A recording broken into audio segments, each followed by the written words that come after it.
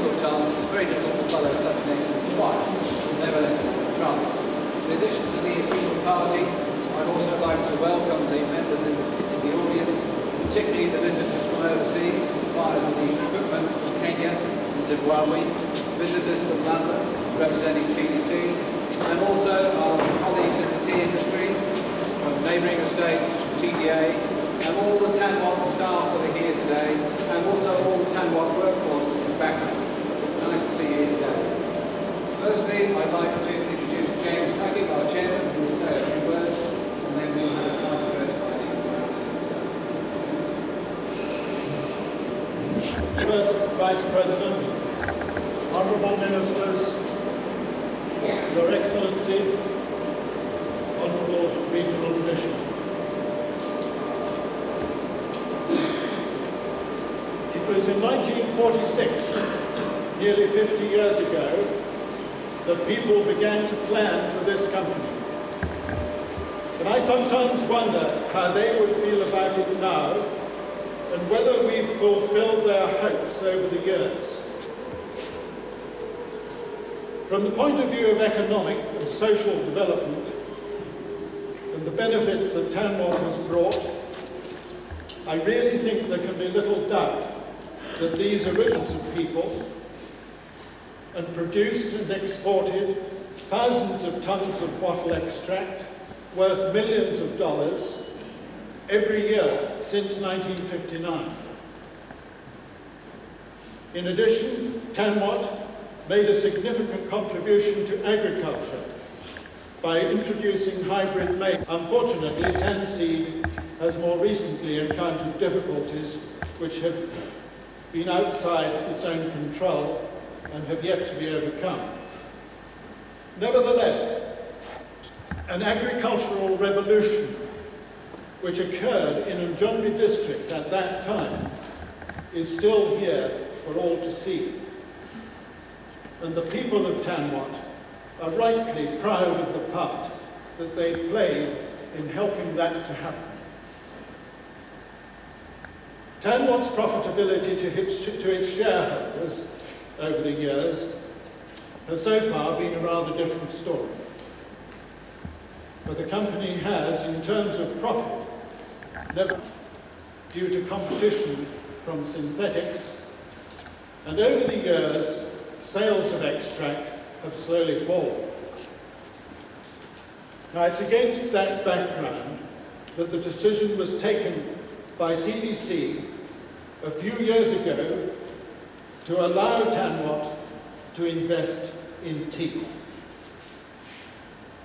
This is now bringing another important export crop to Njombe with increased opportunities for employment. The hope of the planners is that this time round the company will indeed become fully profitable. The cost of developing 600 hectares of irrigated tea, together with its own factory and power station, will, when complete, exceed 13 million pounds. You may be interested to know that this compares with the cost of just 650,000 pounds for the whole of the original wattle development. Such a huge difference is of course partly due to the fall in the value of money over the past CC in the future of Tanzania.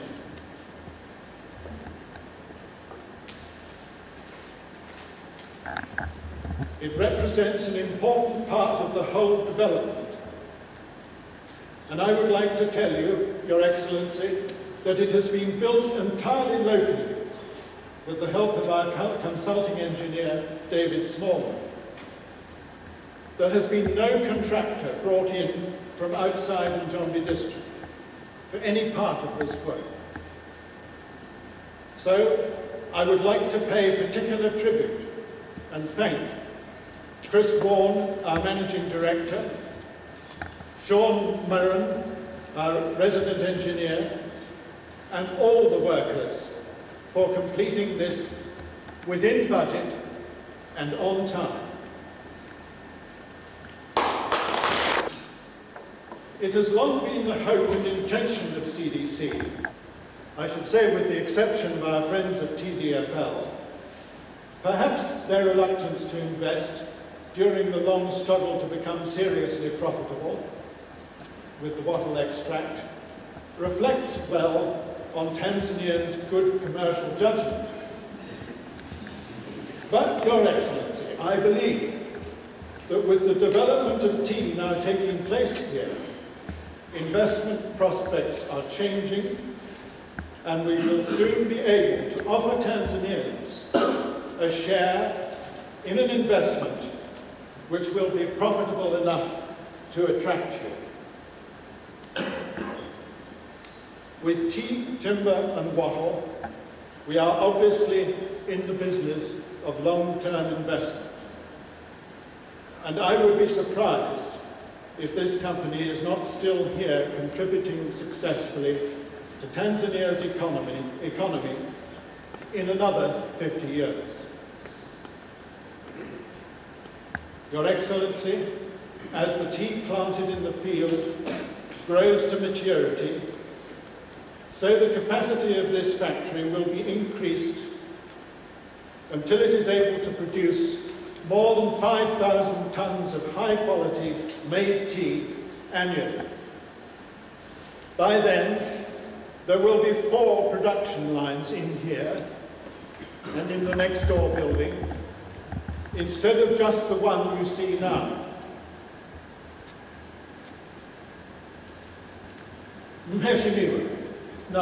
Sana kukukaribisha napenda kukuomba kufungua factory yetu leo hii. Asante.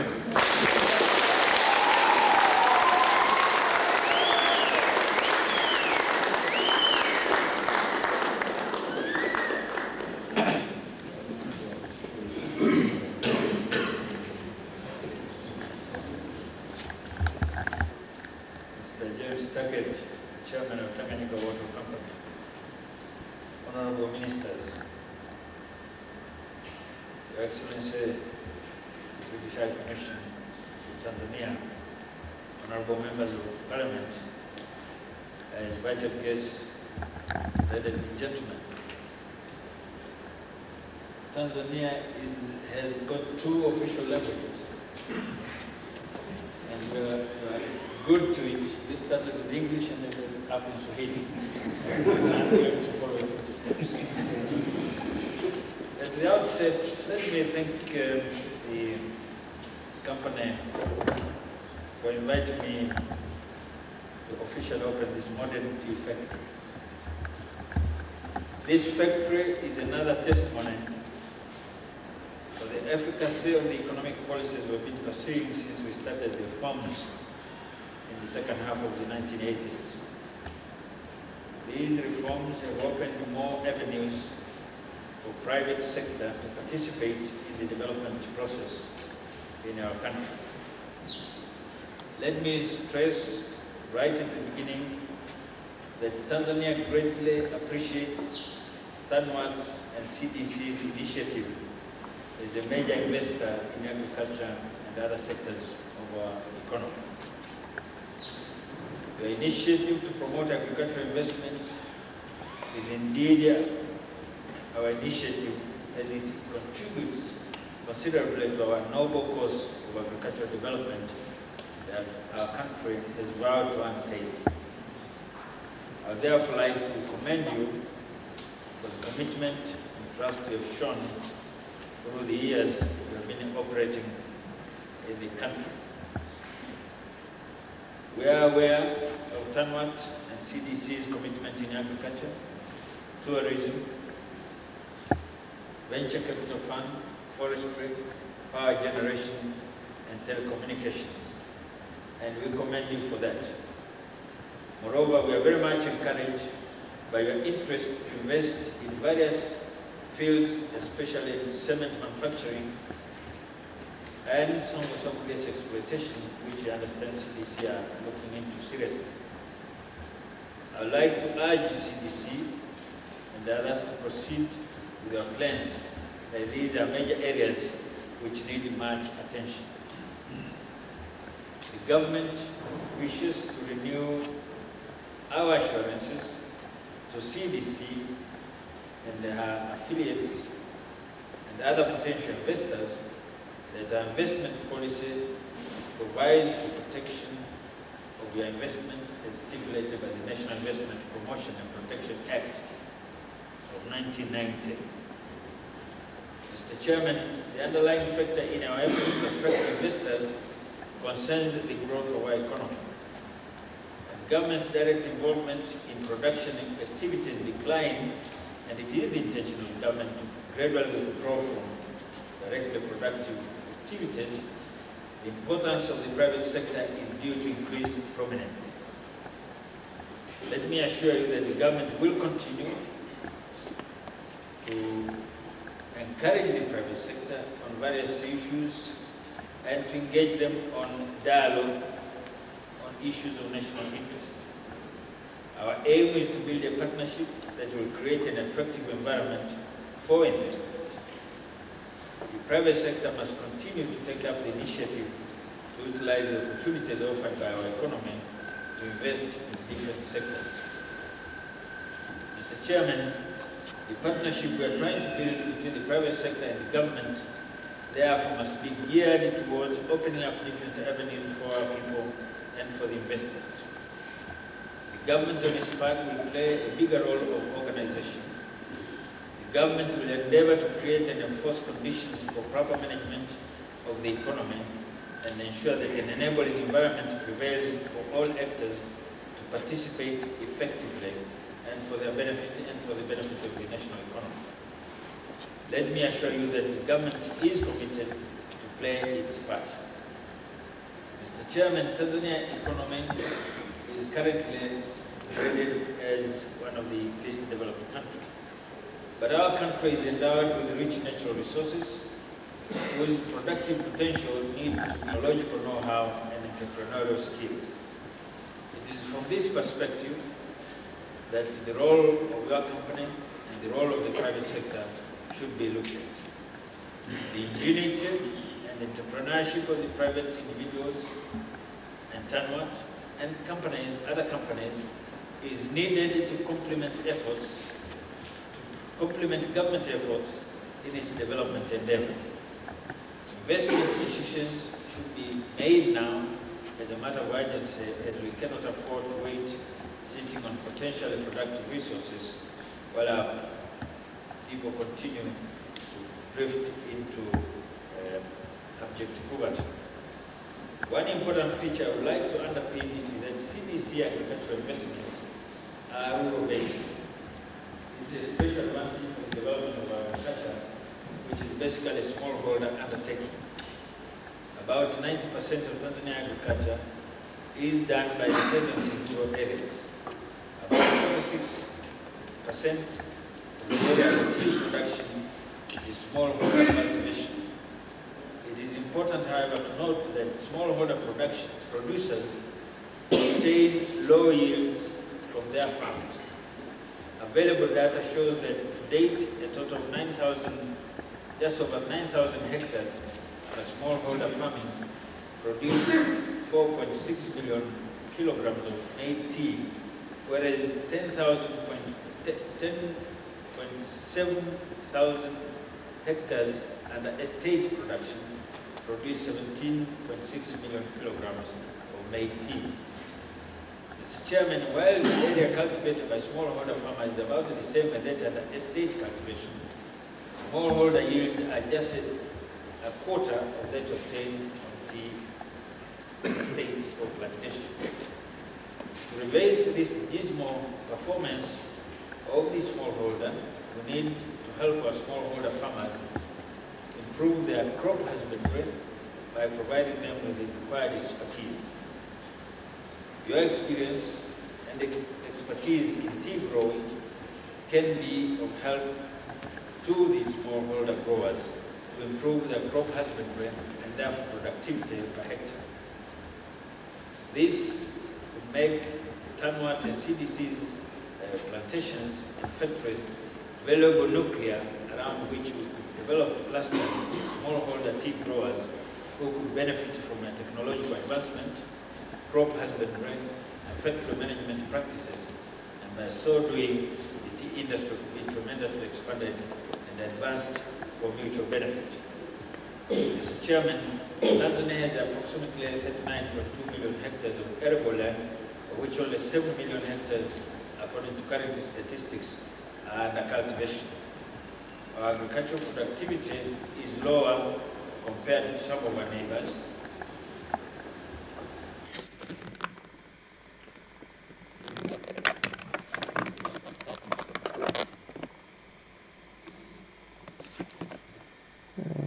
Proceeding, I'm gonna say.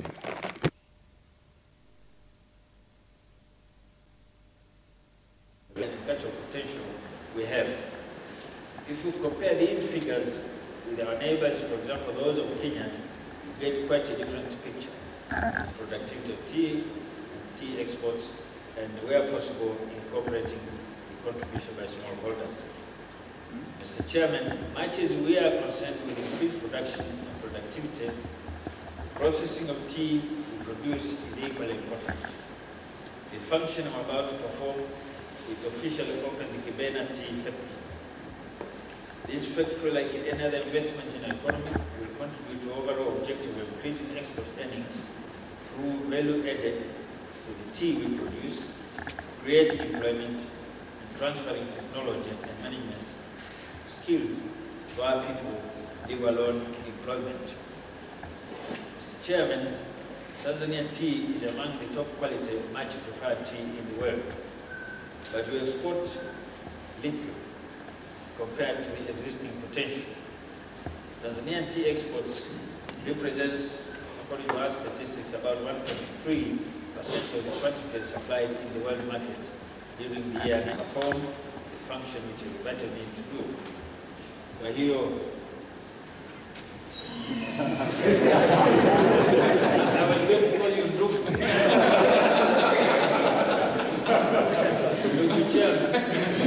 niko tayari kukufanyia kazi ambayo mliniandika hapa ya kufungua kiwanda hiki, na ningependa kwa niaba ya wenzangu wote, kwa niaba ya serikali, mtakieni kila la heri na fanaka. Natumaini katika kiwanda hiki ambacho mnakwenda kukifungua mtapata faida, na kwamba kipindi kile cha miaka ya nyuma ambacho hakupata faida, safari hii kitahakikisha wote na tunamwombea Mwenyezi Mungu kupata faida.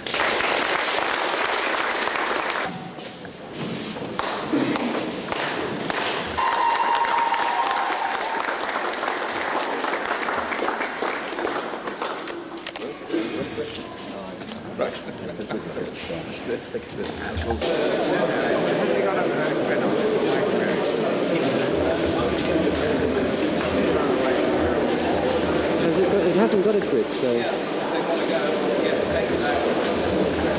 you mustn't touch these buttons at the top here. Because that give you a grid. It's still on, I think.